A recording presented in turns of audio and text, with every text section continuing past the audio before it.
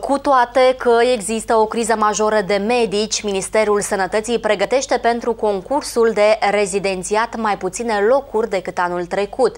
Cea mai mare scădere a numărului de locuri este, în mod ironic, la medicină de familie. Dacă în anul 2018 erau scoase la concurs aproape 600 de locuri, anul acesta sunt doar 217. Asta în timp ce tot mai multe localități din mediul rural nu beneficiază de medicină primară. La începutul acestei luni, în județul Vaslui, șase comune nu aveau un medic de familie, iar situația nu pare a se îmbunătăți. Pentru 2019, numărul de locuri la rezidențiat a scăzut la 4710, cu 18% mai puțin față de anul trecut.